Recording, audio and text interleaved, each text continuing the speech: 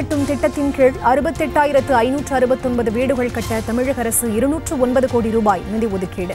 ஒரு வீட்டிற்கு ஒரு லட்சத்து இருபதாயிரம் ரூபாய் வீதம் மத்திய அரசின் பங்காக நூற்று இருபத்தைந்து கோடி ரூபாய் ஒதுக்கீடு என அறிவிப்பு.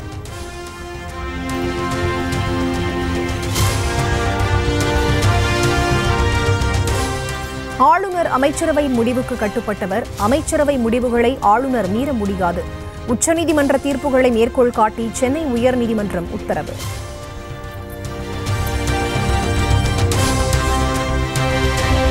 சென்னையில் எந்த அளவுக்கு மழை பெய்தாலும் சந்திப்பதற்கு அரசு தயார்.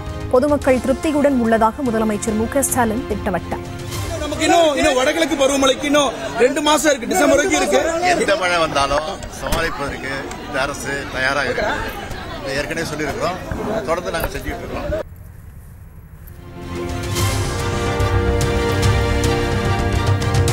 மக்கள் திமுக அரசை பாராட்டுவதை தாங்கிக் கொள்ள முடியாமல் எதிர்க்கட்சிகள் விமர்சனம் செய்வதாக முதலமைச்சர் பதிலடி. மழை பாதிப்புகளை அரசியலாக்க சிலர் முயற்சிப்பதாகவும் அதற்கு பதில் சொல்ல விரும்பவில்லை எனவும் பேட்டி. அவங்களுக்கு சொல்ல வேண்டிய அவசியம் இல்லை. ஏன்னா இது வந்து அரசியலாக்கி இது ஒரு வியாபார பொருளாக நினைக்கிறாங்க. நான் விரும்பல. பாராட்டுகளும் வருது. அதே நேரத்தில் அதை கவுண்டர் பண்றதுக்காக தாங்கிக் கொள்ள முடியாதவர்கள் விமர்சனம் பண்ணிட்டு இருக்கிறாங்க. அதை பத்தி நான் கவலைப்படல.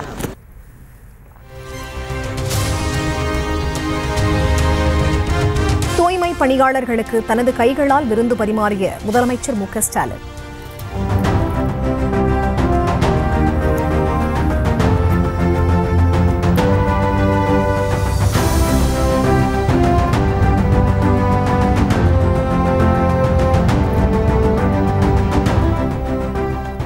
வெள்ள மீட்பு பணிகளில் அயராது பாடுபட்டவர்களுடன் ஒன்றாக அமர்ந்து உணவருந்தினார்.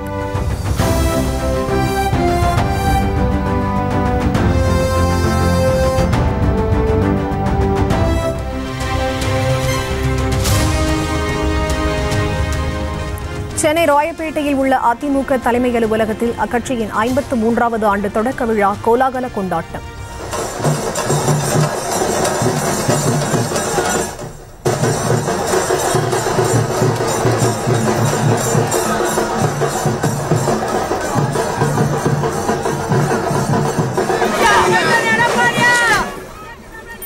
எம்ஜிஆர் ஜெயலலிதா சிலைகளுக்கு மரியாதை செலுத்தியதுடன் கட்சி கொடியை ஏற்றி வைத்தார் அதிமுக பொதுச் செயலாளர் இபிஎஸ்.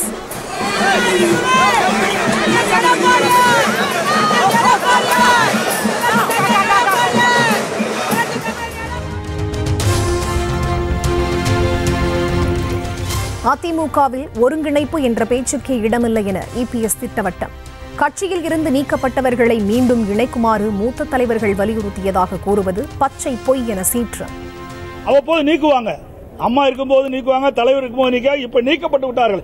இனி வந்து ஒருங்கிணைப்பு இது பிரிந்து போனவர்களும் தயவு ஒரே ஒரே நிமிஷம் தயவு செய்து. இனி அப்படிப்பட்ட வார்த்தை பயன்படுத்தாது. இன்னும் ஆறு பேர் இங்கே தான் இருக்கிறாங்க. இவர்கள் வந்து இணைக்க சொன்னாங்க அத்தனை பச்சை பொய்.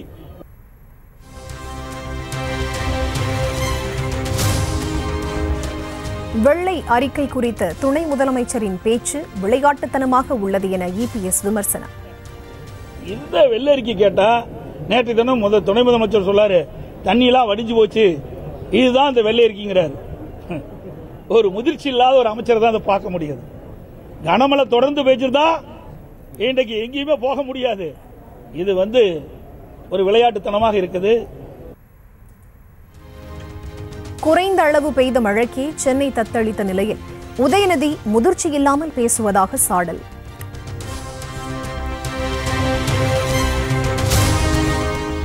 கனமழையால் சென்னை மாநகரம் வெள்ளத்தால் அதிக இடங்கள் பாதிக்கப்படவில்லை என அமைச்சர் துரைமுருகன் பேட்டி. பத்திரிகை செய்தியில் கருப்பு மையால் வரும் அறிக்கையே போதும் எதற்கெடுத்தாலும் வெள்ளை அறிக்கையா எனவும் கேள்வி. மேற்கொள்ளப்பட்டது அப்படிங்கிறது குறித்து அதெல்லாம் கருப்பு அறி- அறிக்கையில ப- பத்திரிக்கையில எல்லாம் வந்துடுது கருப்பு எல்லாரும் படிச்சுக்கணும் வெள்ளை அடிக்கணும். எதுக்கு எடுத்தாலும் வெள்ளை அடிக்க.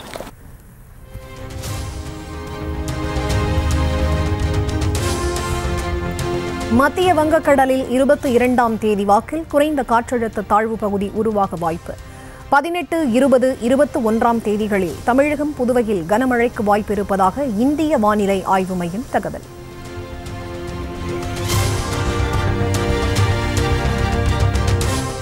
திருவேற்காடு கோவிலில் ரீல்ஸ் வீடியோ எடுத்த பெண் தர்மகர்த்தா மீது நடவடிக்கை எடுக்க உயர்நீதிமன்றம் உத்தரவு. கோவில் வளாகத்திற்குள் ரீல்ஸ் வீடியோ எடுத்தால் சாமிக்கு என்ன மரியாதை என நீதிபதி எம். தண்டபாணி கண்டனம்.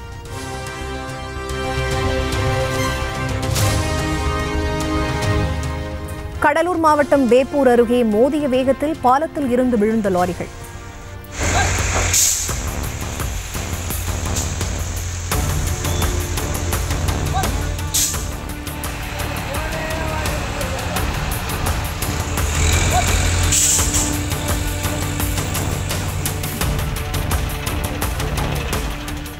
சாலையோரம் நின்ற லாரி மீது மற்றொரு லாரி மோதிய விபத்தில் மூன்று பேர் கவலைக்கிடம்.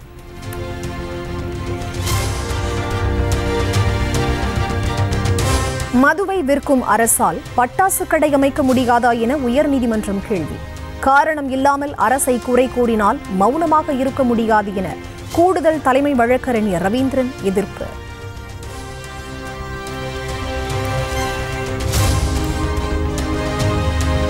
கிருஷ்ணகிரி மாவட்டம் போச்சம்பள்ளி அருகே பைக் மீது மோதி உயிரிழந்தவர் சடலத்துடன் உறவினர்கள் மறியல். கற்கள் மற்றும் மரக்கிளை சாலையின் குறுக்கே போட்ட நபர்களை போலீசார் தடுக்க முயன்றபோது தள்ளுமுள்ளு. கடந்த ஜூன் மாதம் நடைபெற்ற இரண்டாயிரத்து இருபத்தி நான்கு யுஜிசி நெட் தேர்வு முடிவுகள் வெளியீடு. UGC NET dot NTA dot AC dot in என்ற இணையதளத்தில் மதிப்பெண் விவரங்களை பெறலாம்.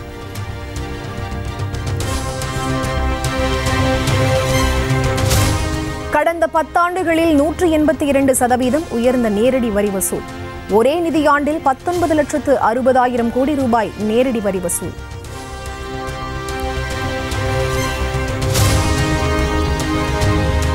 தேசிய ஜனநாயக கூட்டணி கட்சிகளைச் சேர்ந்த முதலமைச்சர்கள் மற்றும் துணை முதலமைச்சர்கள் டெல்லியில் முகாம்.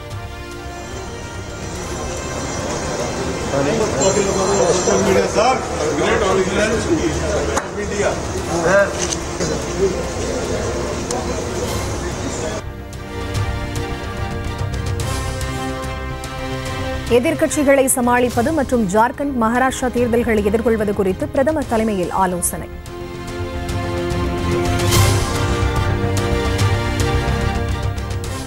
பிரபல தாதா லாரன்ஸ் பிஸ்னோய் கும்பலை சேர்ந்தவர்கள் மீது கனடா நடவடிக்கை எடுக்கவில்லை.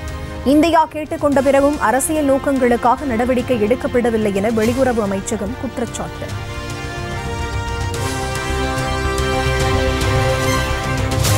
ஜான்விக் திரைப்பட பாணியில் பாலிவுட் நடிகர் சல்மான் கானை துப்பாக்கியால் சுட்டுக் கொலை செய்ய இருபத்தைந்து லட்சம் ரூபாய்க்கு ஒப்பந்தம்.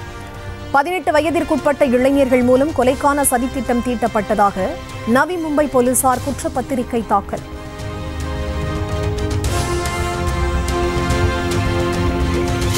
உலகின் ஒட்டுமொத்த பிரச்சனைகளுக்குமான தீர்வு புத்தகத்தில் உள்ளதே தவிர யுத்தத்தில் இல்லை पूरे विश्व को युद्ध में नहीं बुद्ध में ही समाधान मिलेंगे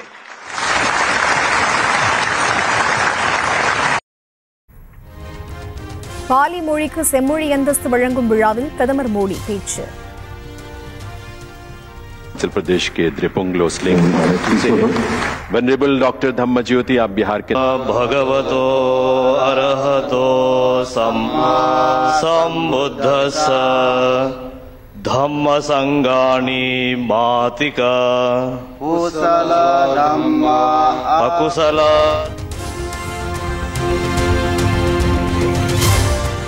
அஸ்ஸாமில் அகர்தலா லோக்மன்யா எக்ஸ்பிரஸ் ரயில் தண்டவாளத்தில் தடம் புரண்டு விபத்து லும்திங் பகுதியில் நிகழ்ந்த விபத்தில் நல்வாய்ப்பாக பயணிகள் காயமின்றி உயிர் தப்பினர்.